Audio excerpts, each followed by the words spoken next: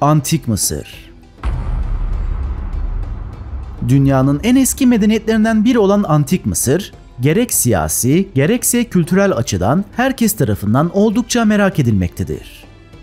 Milattan önce 3150 yılında Nil Nehri'nin çevresinde kurulan Antik Mısır yaklaşık 3000 yıl ayakta kaldıktan sonra Milattan önce 30 yılında Roma İmparatorluğu tarafından istila edildi ve Roma'nın bir eyaleti haline geldi. Ünlü antik dönem tarihçisi olan Herodotos'un Nil Nehri Mısırlara bir armağandır. Kültür ve coğrafya bağlamında belki de dünya üzerinde kurulmuş en güzel medeniyettir. Şeklinde söz ettiği antik Mısır'ı gelin daha detaylı inceleyelim.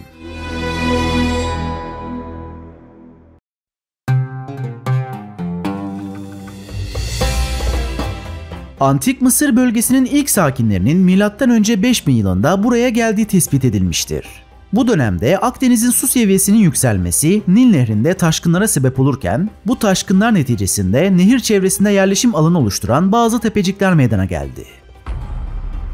Bölge sakinleri ilk olarak Nil Deltası olarak tabir edilen aşağı Mısır'a yerleşmeye başlarken zamanla popülasyonun artmasıyla yerleşim alanları yukarı Mısır'a kadar yayıldı.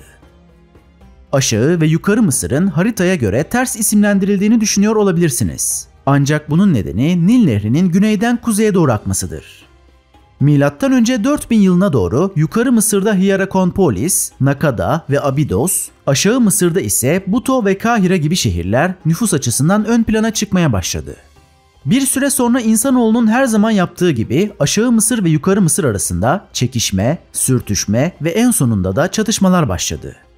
Nihayetinde Yukarı Mısır'ın hükümdarı olan Narmer, M.Ö. 3100 yılında Aşağı Mısır'ın kontrolünü ele geçirerek tüm Mısır'ı tek çatı altında birleştirmeyi başardı.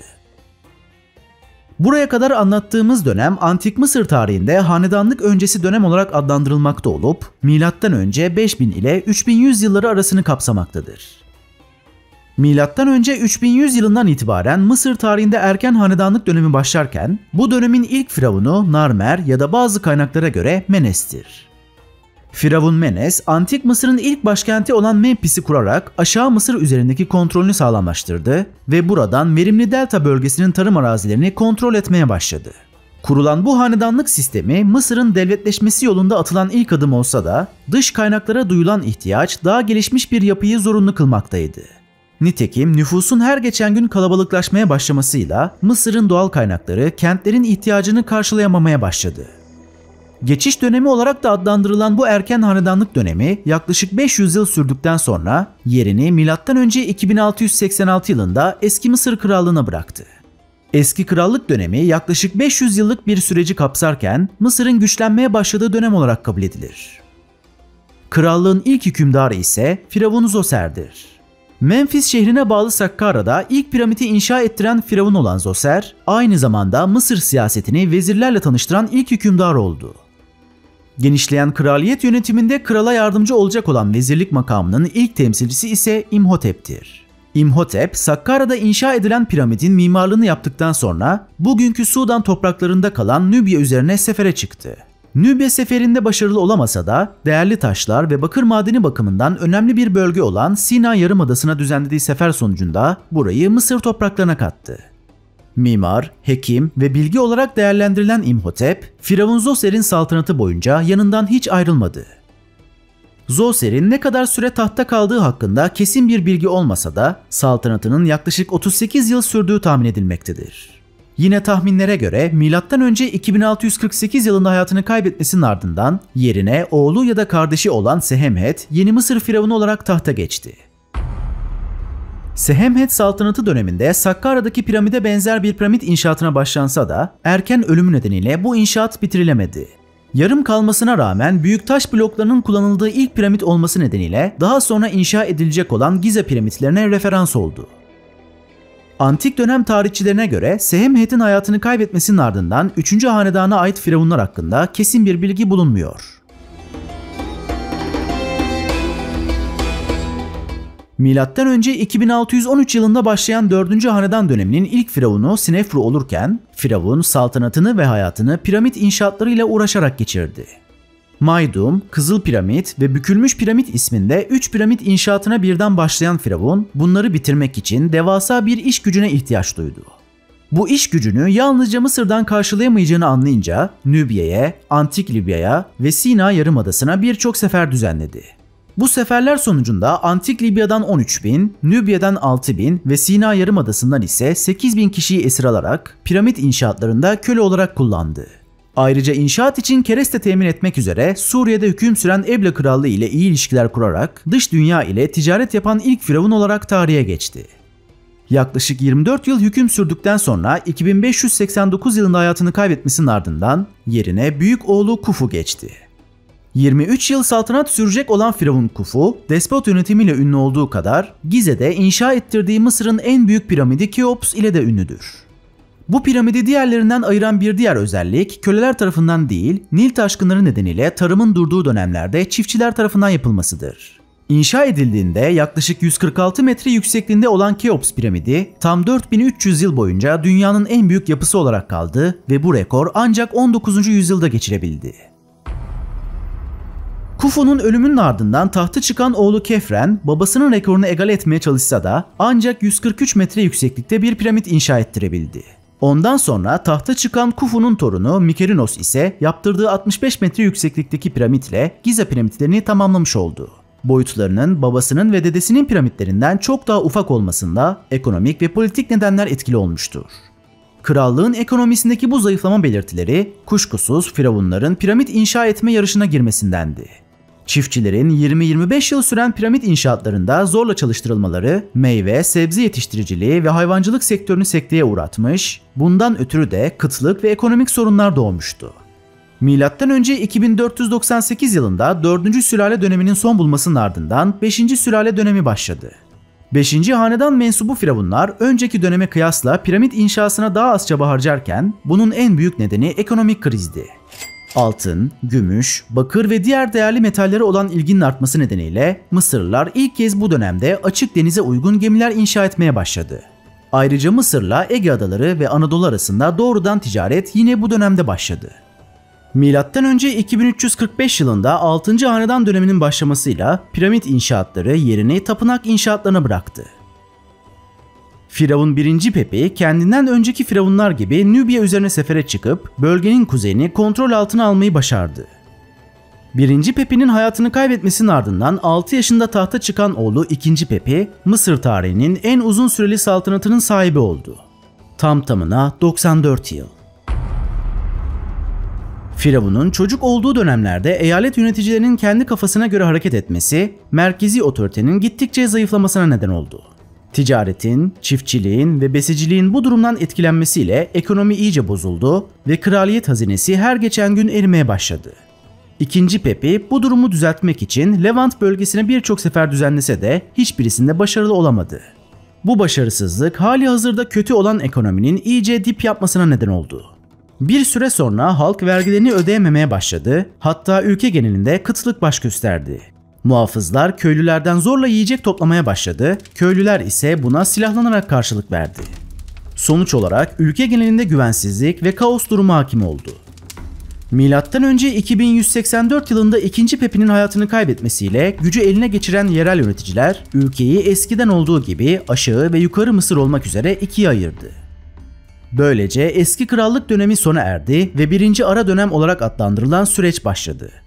Savaşlarla ve iç çekişmelerle geçen bu 129 yıllık ara dönem 11. hanedana mensup olan 2. Mentuhotep tarafından sonlandırıldı.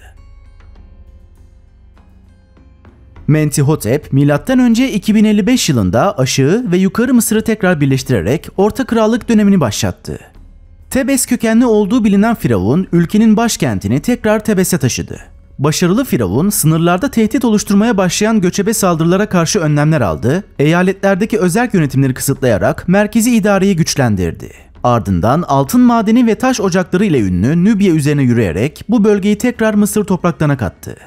Ülkedeki yerleşim yerlerinin yüzyıllardır Nil Nehri'nin çevresiyle sınırlı kalmasına anlam veremeyen Firavun, imar planları üzerinde çalışmaya başladı. Böylece konut inşaatları Mısır tarihinde ilk kez geniş bir alana yayılmaya başladı. Mısır'ı eski görkemli günlerine taşıyan ve tam 51 yıl tahtta kalan 2. Mentuhotep, M.Ö. 2009 yılında hayatını kaybetti.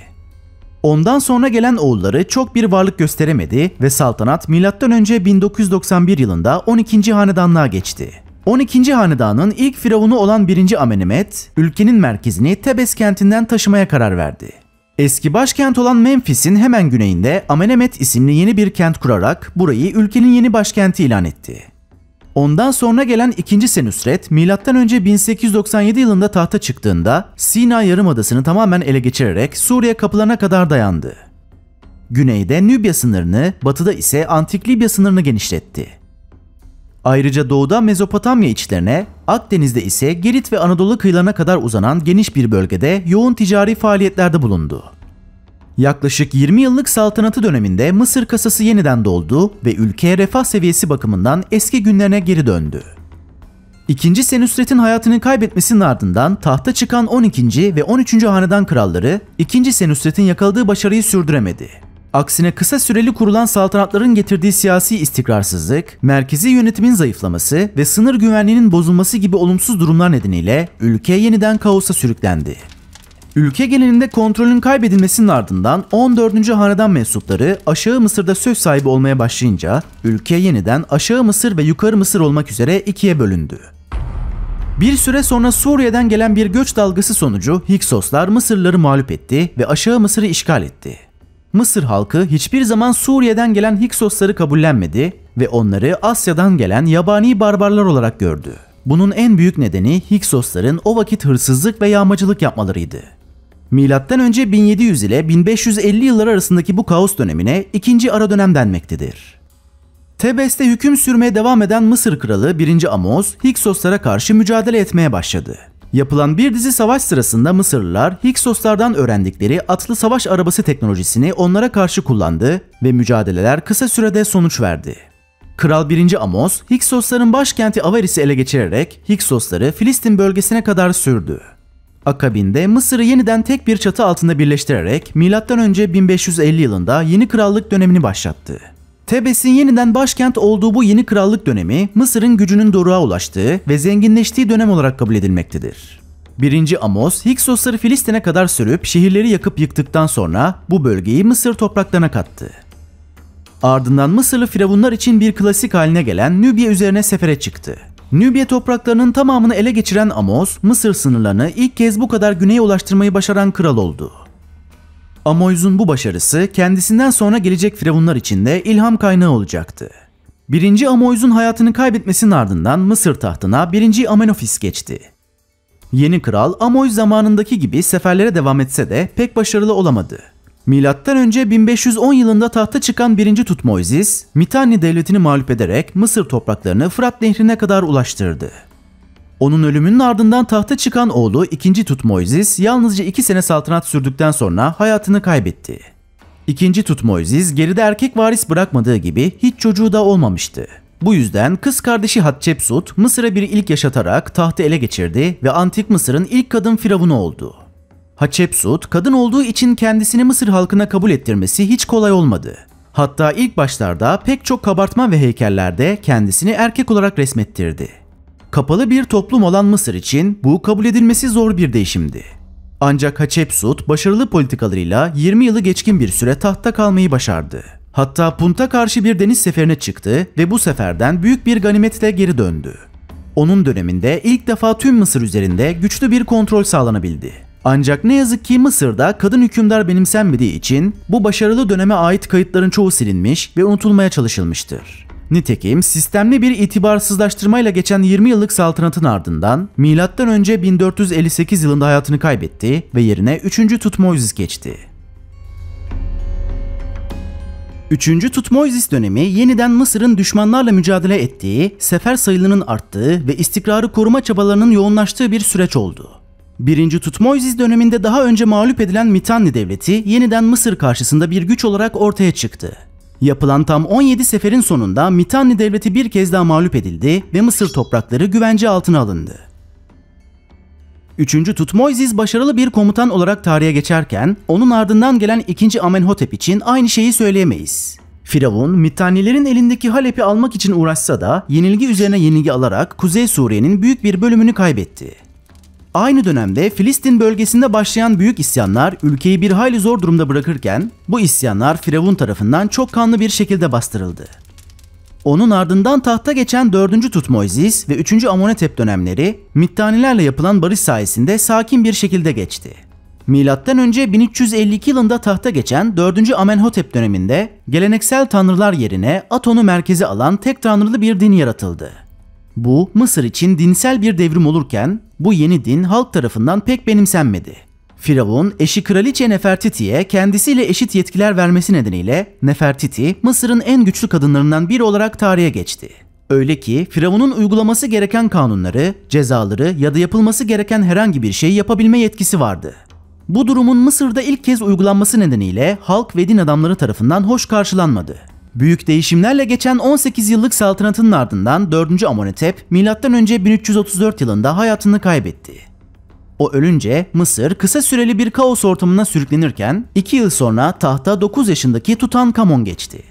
Çocuk yaşta olmasına rağmen radikal kararlara imza atan Tutankamon, babasının kapattırdığı tapınakları yeniden açtırdı, Aton merkezi tek tanrılı dinden çok tanrılı dine geçti ve en önemlisi ülkenin başkentini yeniden Tebes'e taşıdı. Zayıf yapılı ve yaklaşık 1.67 boyunda olan Firavun Tutankamon 9 yıl tahtta kaldıktan sonra henüz 19 yaşındayken hayatını kaybetti.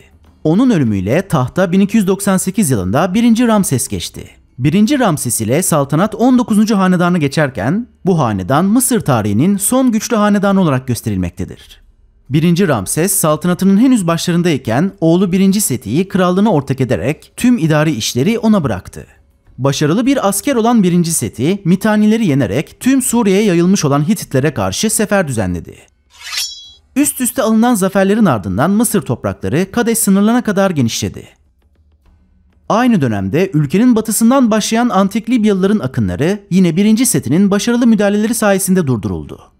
Tam 18 yıl saltanat sürdükten sonra hayatını kaybeden 1. Seti'nin yerine oğlu 2. Ramses geçti.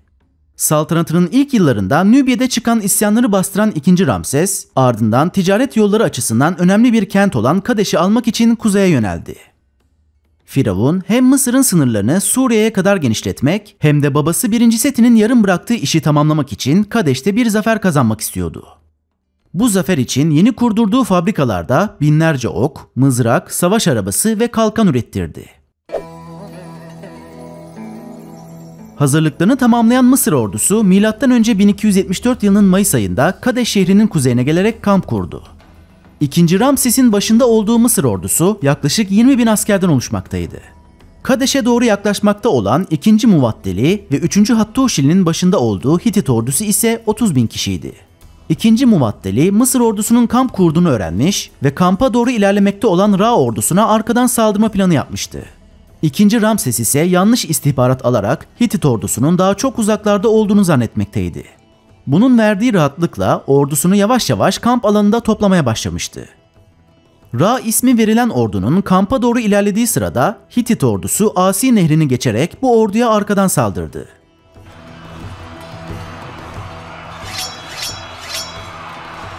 Ordunun büyük bir kısmı imha edildikten sonra kampa doğru kaçan birliklerin peşine düşüldü. Kamp alanında hazırlıksız yakalanan 2. Ramses ve ordusu düzensiz bir şekilde savunmaya geçti.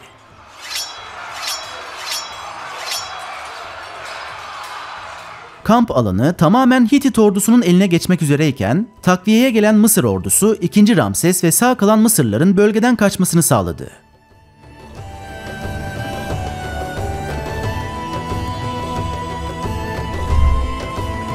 Savaş her ne kadar sonuçsuz kalmış ve her iki tarafta kendilerinin kazandığını ilan etse de Mısır ordusu Kadeş şehrini almayı başaramamıştı.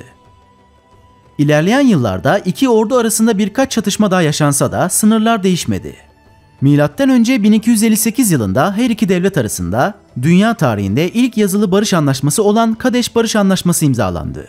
Her iki dile çevrilerek imzalanan Kadeş Anlaşması'nın orijinal hali günümüzde İstanbul Arkeoloji Müzesi'nde sergilenmektedir. Bu anlaşma ile birlikte iki devlet arasındaki barış havası uzun bir süre korundu. Tam 66 yıl tahtta kalan 2. Ramses M.Ö. 1213 yılında hayatını kaybederken yerine tahta 70 yaşındaki oğlu Merneptah geçti.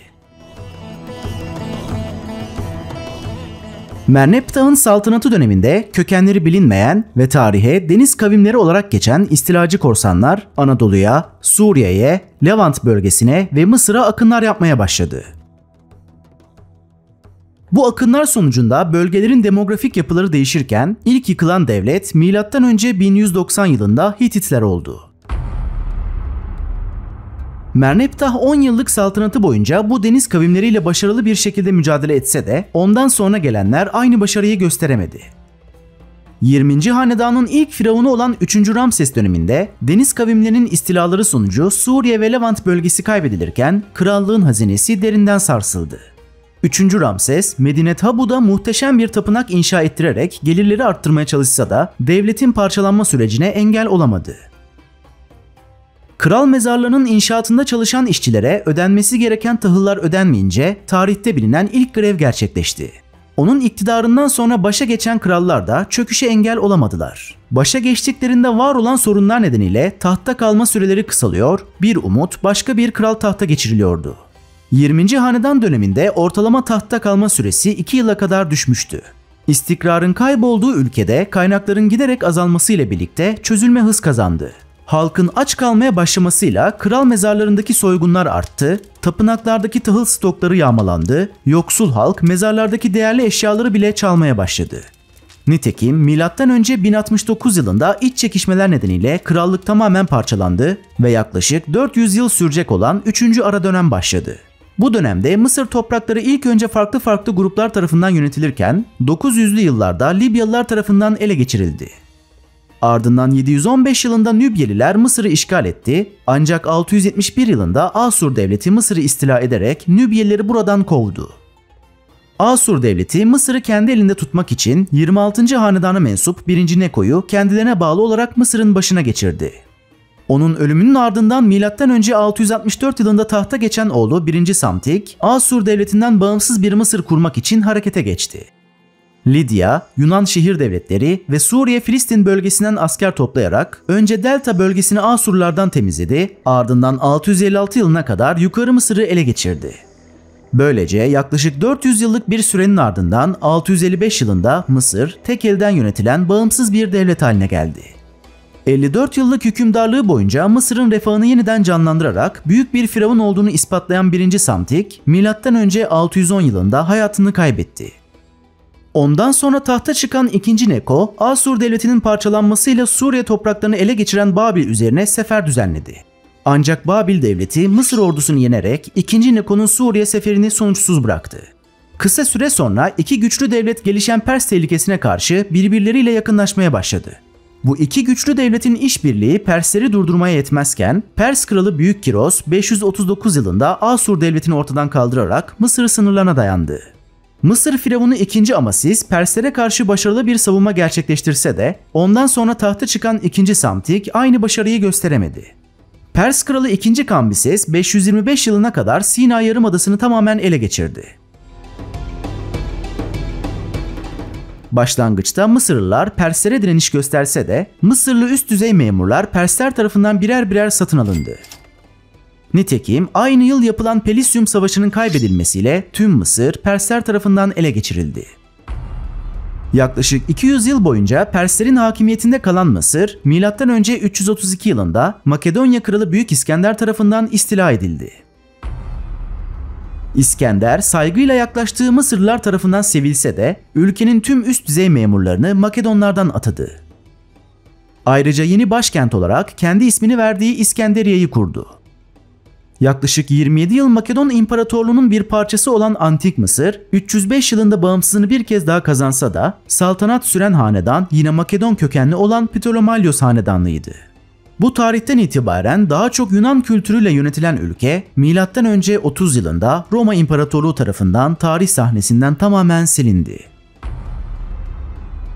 Videoyu beğendiyseniz ve Ptolemaios döneminin videosunun gelmesini istiyorsanız beğeni butonuna basmayı ve destek amaçlı yorum yapmayı unutmayın.